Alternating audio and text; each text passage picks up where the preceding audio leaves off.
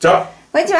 はい。はい、豊さん。はい。今日は、今日はあのーメジャーリーグのねねまあ、ちょっと話でワールドシリーズの今話で。ちょうどもう始まって、日まあね。本では日本シリーズがあってね、アメリカではワールドシリーズと。そうそうもう今この2つですね。まあ4チームしか野球やってないというね。ねえ。ーまあ、そういう状況の中でね。ねまあどうしても取らなきゃいけないなっていうふうな状況になったんで。ちょっと、まあ、ちょっと心配事がねちょっとあってなんとね、大谷選手、ちょっと、まあ怪我ですか、そうだね。まあそれはねちょっとその後にちょっと喋るけども、はい。第一戦はうん。ドジャーススタジアムでね、うん。行われて延長10回裏フリーマンが、まあ、逆転サヨナラ満塁ホームランという史上初らしいんだけども、はい。まあ、そういう出来事があった第2戦、もう劇的も劇的でしたね。まあそうだね、まあそういう試合を経て今日山本が先発したんだけども、はい。まあ山本結果から言うと6回3分の1を投げて、まあ1安打1失点というね、はい。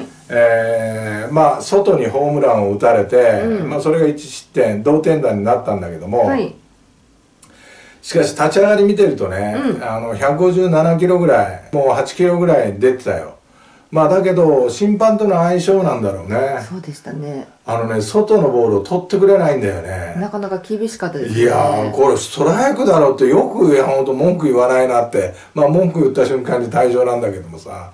まあだけどあれでよく組み立てをして、6回3分の1をやっぱりよく、えー、1安打1失点に抑えたなと思ってね、はい、まああのね、あの球数86球、うん。三振4つ、フォアボール2つというようなね、まあ内容でしたけれども、はい、だからまあ内容的にはねそういう内容なんだけども球種的に言えば、まあ、縦の変化、うん。まあ、カーブだとかスプリット、うん。まあ、そういうものをこう軸としてたまにスライダーをね、えーまあ、投げていくという、うん。まあ、そういう形にはなってたんだけども、はい。まあ、それで十分抑えられたというね、でやっぱこう球の走りが良かったね、うん。まあ、そのためによってこうカーブとかも効くし、まあ、スライダーもおよく、えー効いてたという。うん、まあそういうことなんだけどもやっぱこう今日の試合でもさ、まあ、ドジャースは3本のホームラン、はい、えーを打ってるんだけども、うん、まあその中でフリーマンもう今日もね2号ね、あの2号打って、ん。まあ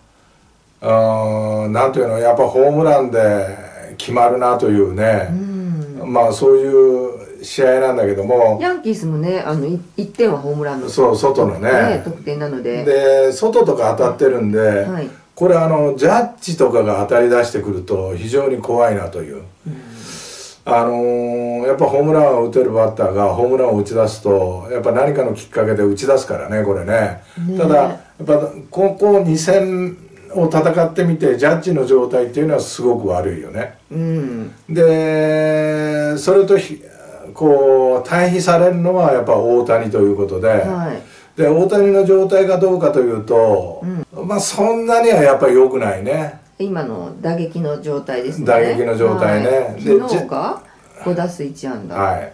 で今日はヒットがなかったというヒッことでトはなかった、ね。はい。うんまあそれでジャッジは、えーこうドジャースのバッテリーにスライダースライダーでうん。攻められるんだよね。はい、で大谷はどちらかというと球種ではなくて高めで攻められてるね、うん。まあ、結構。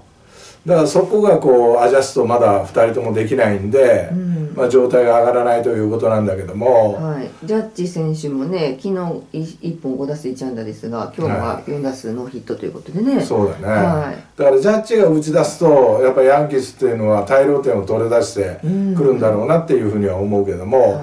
まあ一方大谷うん。ね今日3打数ノーヒットで迎えた4打席目に、はいはい。まあフォアボールで出塁と、うん。出塁できたなって、うん。でやっぱ点が欲しいともうちょっと、うん。まあここはやっぱこう盗塁仕掛けてくるだろうなって言ったところでツーアウトから仕掛けたんだよね、はい。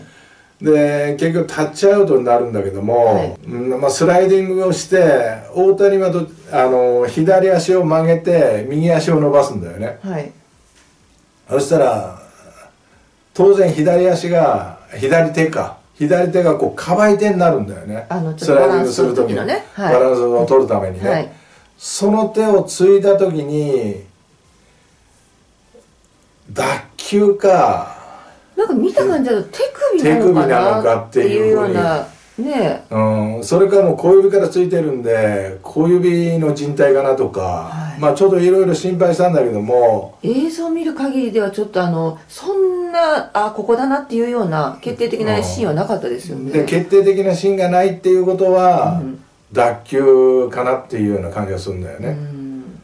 肩？肩肩。はい。うん。でまあこう退場する時にこうなんていうのここら辺持たれて手首の付近をも持たれて、うん。まあ動かないようにしてたんでであそのままロッカールームに消えてったんでね。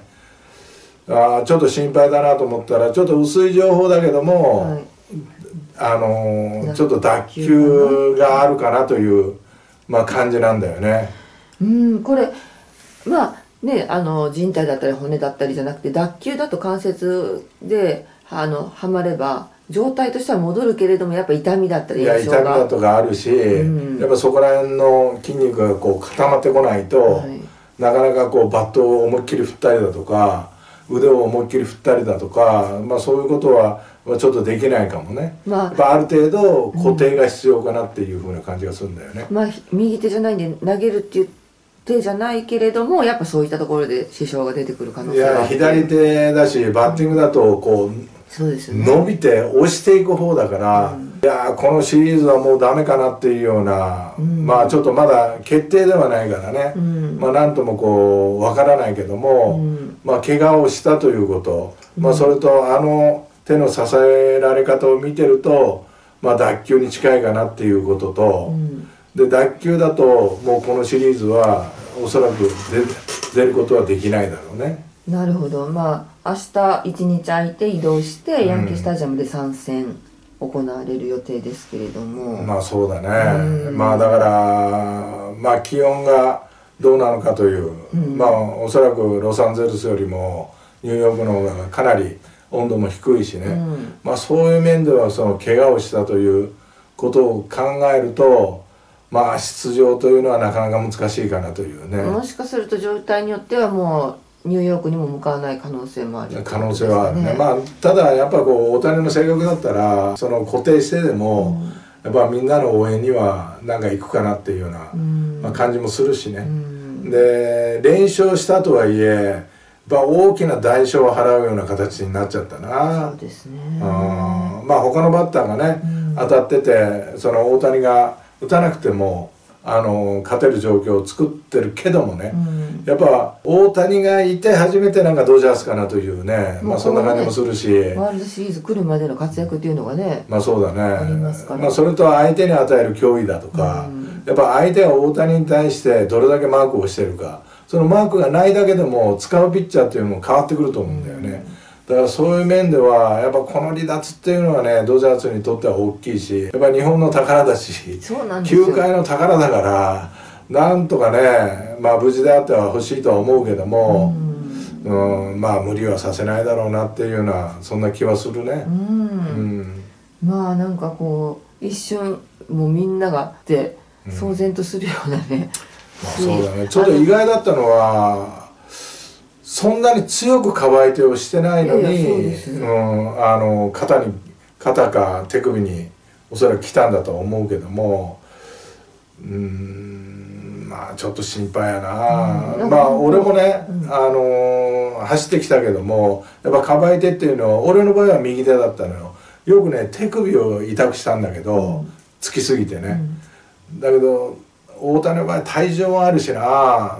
だから肩に来たのかもわからないね。つき方の角度によって。もしかするとその瞬間っていうよりも今まで積み重ねてたものの負担で最後にちょっとこう超えてしまったっていうこともありますかね、まあまあそういうこともあるかも。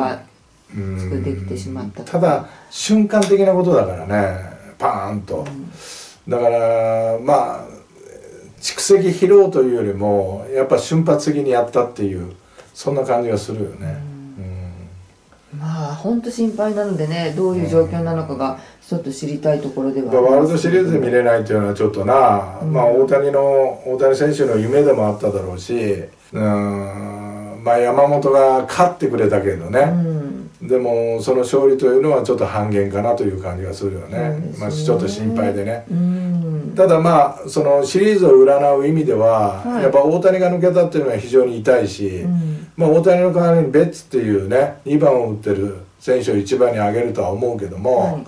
ただやっぱりニューヨークに帰ってきて、まあ、帰るとしたらやっぱこうジャッジという選手、ね、3番を打ってるジャッジという選手がなんか調子を上げ上げてきそうな気がするよね地元に帰ってね。うん確かに。3試合ありますしうね、ん。